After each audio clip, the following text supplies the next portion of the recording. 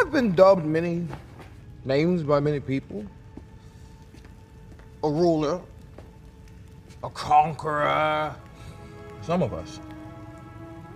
New worlds meant only one thing new lands to be conquered into all out war, each variant fighting to preserve their universe and annihilate the others.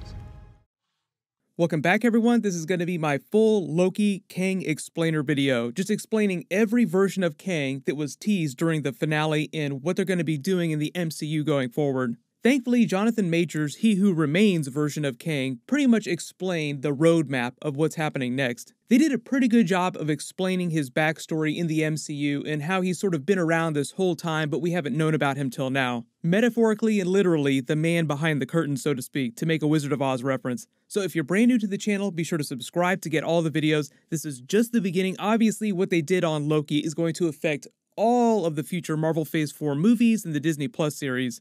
Careful for spoilers, if you have not seen the Loki episodes yet, we'll be talking about everything. But during the finale, they call this version of Kang He Who Remains. That's originally who Jonathan Majors was cast to play. Interesting fact, too, they actually said that they contacted him about playing He Who Remains first before he was cast in Ant Man 3 Quantumania as Kang the Conqueror. So originally, the He Who Remains character was not supposed to be a Kang variant. It wasn't until later when he went to audition separately for Ant-Man 3 Quantumania for the Kang role that they liked him so much that they just decided to combine the character of He Who Remains with Kang the Conqueror. So this whole huge plot in Marvel Phase 4, Marvel Phase 5, arguably however long Kang remains in the MCU, all started in a completely different way. They just felt like he was so fantastic. They're like, okay, well now he has to be all the versions of Kang. And that is the idea, even though there will be some twists on that, which I'll get to when I talk about the Iron Lad version of Kang. Like, there are other versions of Kang that look different. But this He Who Remains version is kind of like the Immortus version of Kang, the final version, final boss form, most powerful, wisest version.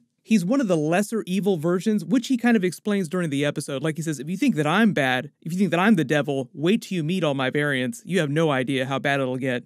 This is a version of the character that's lived for millions of years, and that's kind of what he explains during the episode. I've lived millions of lifetimes. Just because of the way he manipulated the sacred timeline, his own timeline, to loop around on itself. So when he tells Loki and Sylvie, I've had many names, I've been a conqueror, I've been a ruler, he's basically telling us that he's technically been every single version of the Kang character from the comics at different points in his millions of years long lifetime. And I will explain all those different versions because the way they presented them in the comics, they were just alternate versions of Kang who just came back with different identities. Like he would adopt a different identity when he would come back, and sometimes they would be from alternate universes. Mr. President, uh, I'm Rick Sanchez, but not the one that did this. We Ricks travel the infinite and switch places with each other like hermit crabs, I think. But if we're talking about the classic versions from the comics, he is closest to Immortus. In the way that Jonathan Majors, He Who Remains, explained his backstory, he is the original variant, the prime Nathaniel Richards. In the way that the version of Loki who died during Avengers Infinity War is meant to be the prime Loki of the Marvel Cinematic Universe. and all the other Lokis that we meet during the series are versions who were born differently like Sylvie or who did some really WTF thing during their lives to create Nexus events, like Kid Loki killed his version of Thor, or in the case of Alligator Loki, it's kind of implied that they did something really crazy and got permanently turned into an animal. But this version of Kang started life, his original life, as Nathaniel Richards Prime, born in the 31st century. He's also a distant descendant of Reed Richards' father, who was also named Nathaniel Richards and was also a time traveler. So he is loosely related to Reed Richards of the Fantastic Four but he was the first variant of the multiverse to discover how the multiverse worked, how alternate timelines worked. He calls it other universes stacked adjacent to his own universe. And even though it sounds kind of confusing when you talk about the difference between alternate realities, alternate dimensions, alternate timelines, alternate universes, the way the MCU categorizes them, they're all kind of the same thing. For instance, when these branching timelines move past Redline, they start to function as fully alternate universes. Then when he says he first traveled to the nearest alternate universe, he met an alternate version of himself that looked exactly the same. They discussed the minor differences in their universes, and eventually more variants of him started doing the same thing, and they were all cool with each other, forming what you would call the first Council of Kangs. There's two different versions of that that pop up. The second version is the same thing with just a different group of Kangs. So you have different groups of them forming together. It's not like all of them form a single council of Kangs. But the way he explains it on the Loki TV show, that first council was just a bunch of Nathaniel Richards coming together as scientists. None of them had adopted any of the crazier comic book villain identities yet. They shared technology from each of their universes and used that to help all their universes, but as more and more variants started popping up from newer and newer branch timelines, newer alternate universes, some of those alternate versions started going around quote unquote conquering their own universes, then trying to conquer the other universes. And that's where you get to the first multiversal Kang War. R. Nathaniel Richards Prime eventually discovered Alioth, who was created from all the dimensional tears in reality caused by the multiverse war. He says he went a little dark, like he experimented on it, weaponized it, and he gets kind of really angry and excited when he's talking about them. I ended the multiversal war. Because Alioth is able to consume entire realities, he uses Alioth to go around and basically eat all the other universes except for his own. Then he turns his timeline into the sacred timeline, then creates the TVA to prevent branch timelines that would lead to dangerous versions of himself, dangerous variants, from coming into existence again. The MCU, as you've experienced it so far in all the Marvel movies, the Infinity Saga of movies, has taken place inside the sacred timeline. There is a multiverse that exists inside the sacred timeline, but it's only the subset of alternate universes where dangerous versions of Kang don't rise up. So that's how you have the Doctor Strange movie where the Ancient One is taking him on the tour talking about the multiverse. So it existed before this. It's just that in all those other universes, other dimensions, there aren't evil versions of Kang. Otherwise, he who remains would have had the TVA clip those branches, so to speak. So after he does that, then he just orchestrates things managing the TVA for millions of years and essentially aged up into the Immortus version of Kang, the final version, who controls all of time. And during the episode, the reason why he kind of wants Sylvie to kill him, why he's happy to be killed, although he kind of doesn't care either way, is just because he's tired. Like he wants someone to either take over or get rid of him. In the comics, a version of him actually does that with Renslayer, sort of like the Immortus version of him hands over the reins of his entire time empire, Chronopolis, to Renslayer. So when we see this Kang statue, the different one in the TVA after Loki gets sent back, it implies that when Sylvie killed He Who Remains Kang, the timeline restarted like he said, the multiversal war played out again in the future, but a different Kang wound up winning the war, isolating his timeline, then creating the TVA. The showrunner the writers said it's meant to feel like a very Twilight Zone kind of ending, like WTF, wait a minute. But as Loki comes running up to this version of Mobius and Hunter B15, they explain whatever they're in the middle of right now, whatever crisis, there are 65 branches going past Redline. So it sounds like when this scene is happening in the TVA, they're still in the middle of a huge fight with a bunch of alternate universe versions of Kang. So I think the idea is that they're just showing us that the multiverse war plays out during many different points in the timeline, and we're going to see that play out in future Marvel movies and Disney Plus series and during Loki season 2.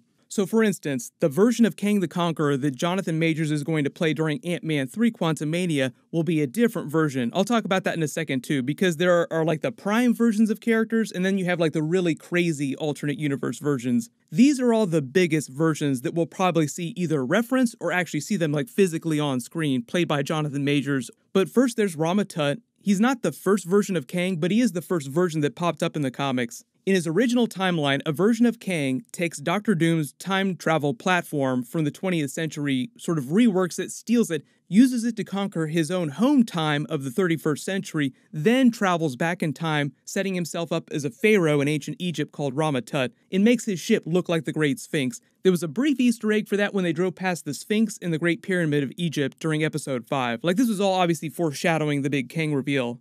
Then there was the Scarlet Centurion. That was a version of Kang who was inspired by Doctor Doom in present day to create a new special armor suit. He traveled back to present day using this special will sapping beam to mind control the Avengers into believing that there was no hope for the future, so just give up. I'm trying to help you. Just do what I say. There's the Mr. Gryphon version of Kang, and this is actually where the big Kang Industries Easter egg from episode 5 comes from, where it says Kang Industries on the Stark Tower, the Avengers Tower. This is a version of him that got stuck in the 21st century, and instead of waiting 2,000 years to get back to his own time, the long way around, he just decided to conquer present day using the guise of a corporation, creating Kang Industries. Then there was the Victor Timely version of Kang. It's a similar concept to the Mr. Gryphon version, only it was a longer con. He goes back to the early 1900s, creates a corporation called Timely Industries that then grew very powerful by present day of the Avengers. There's the Iron Lad version I know everyone's hoping to see because we know we're building up to Young Avengers with all the big Disney Plus characters. He started as a child version of Nathaniel Richards, who was being picked on by bullies. An older version of himself comes along to save him, saying, Look who you become. You become Kang the Conqueror, this very powerful warlord in the future.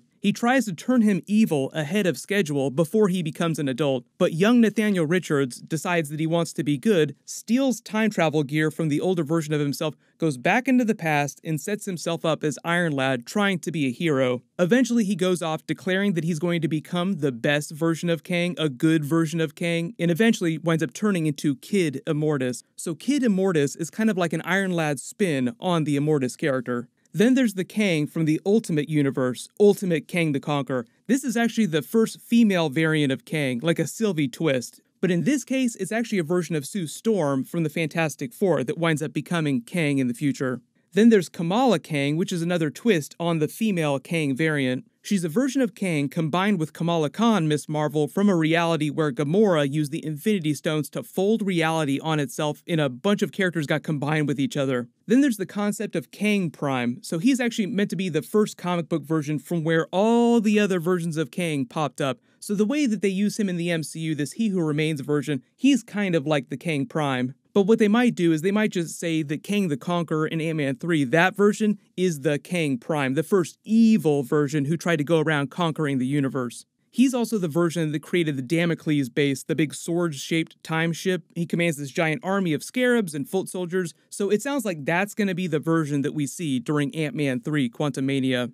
Then I'm not really expecting them to do this version, but it is this really crazy amalgam version of Kang. He's called Doom the Annihilating Conqueror, and it's a version of Doctor Doom from a fantastic story where they were using his time travel platform to combine each other's powers from different universes. And Doctor Doom uses the process to give himself all the powers of Kang the Conqueror and Annihilus at the same time because obviously we're heading into Ant Man 3 Quantumania, Doctor Strange 2 Multiverse of Madness, the reason why the quantum realm is so important to this is because of the way they use time travel during Avengers Endgame. They sort of canonize the quantum realm, quantum energy as the key to traveling to alternate universes and traveling through time. So even though they don't say it during the episode, it's implied that this version of Nathaniel Richards Prime, he who remains Immortus, is using quantum energy to power all of his technology. They'll probably make that a little bit clearer when we get to Ant Man 3. Also, just building more connections between Kang and the other Ant Man characters, don't be surprised if Janet Van Dyne knows who Kang is when he shows up because of his association with the quantum realm, traveling the multiverse, time travel. The fact that Janet Van Dyne lived for so long in the quantum realm and knows all about the quantum city and the other beings that live down there, she would have probably encountered him at some point. Also, another big link a lot of his technology is based on previous technology that was iterated on by Iron Man, for instance. Like we talk about Doctor Doom's time travel platform that Kang uses in the comics, they'll probably substitute Iron Man's time travel platform for the MCU version of that. Even Kang's TemPad wrist device looks a little bit like the design language of Iron Man's time travel wrist device. But the idea is through Marvel Phase 4, Loki Season 2, all these big multiverse movies, all the Marvel characters, including Loki, will be trying to sort out the chaos and all the changes to the timeline that these Kangs from alternate universes are trying to perpetrate. The big explainer that Miss Minutes gave in episode 1 about it leading to the collapse of all reality, that was not a lie. So that is the threat of this big giant multiverse Kang war, the collapse of everything. What'll happen though is when we see these alternate Kang variants pop up in the different Marvel movies and different Disney Plus series, I'll do new explainer videos for those versions too, because the idea is that they'll have slightly different backstories in their own timelines, their own universes, but they'll be somewhat similar to our version of Kang that we just saw as He Who Remains. In the next big Marvel series is going to be What If. My episode videos for that will start posting in a couple weeks, so make sure you have alerts enabled for my channel so you don't miss any of those episodes. I do like the idea that all these branching timelines you see in the Loki finale as this is all happening are creating the episodes of Marvel's What If. Like a lot of the variants will pop up from these different universes. Congratulations, Bo Carranza. You're the giveaway winner from my last big Marvel video. Please email me on the About page of my channel so I can get your contact details. Everyone click here for my new Loki Episode 6 alternate ending and deleted scenes video, and click here for my full Loki Episode 6 finale video. Thank you so much for watching, everyone stay safe, and I'll see you guys tonight.